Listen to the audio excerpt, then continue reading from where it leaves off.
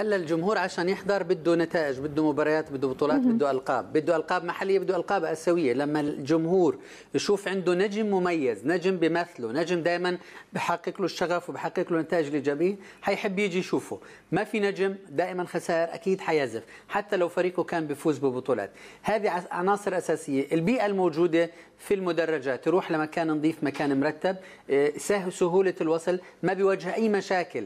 في الذهاب والعودة الطقس يكون أو تقام المباريات في طقس أو في ظروف مناسبة جدا ما تكون الحرارة عالية أو الرطوبة عالية. يكون في حوافز مالية سيارة جائزة كيلو ذهب.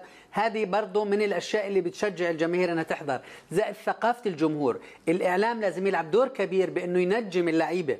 اللاعب يحسوا يفهموا الجمهور إنه عندنا نصنع موديل نصنع نصنع نجوم في وطننا العربي في الرياضة العربية. ما بصير إنه لاعب ما يكو... على الهامش طلع في برنامج وخلاص.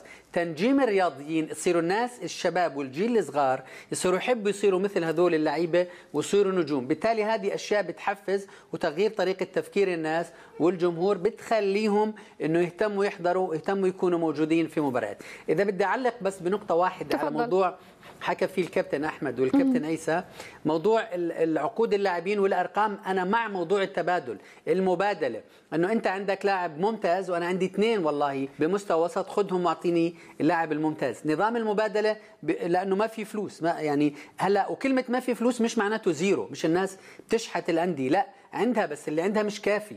الدخل أقل من المصروف. بالتالي لازم يصير إدارة للمال بحيث إنه ما يصير أعباء ويصير ديون وبعدين قروض والتزامات وبعدين يجي النادي يقول أنا مفلس بدي أسكر.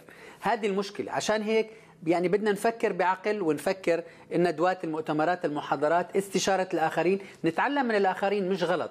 نشوف ظروفنا بناسبنا اللي يطبق في إنجلترا بناسبنا اللي بيطبق بإسبانيا ولا لا.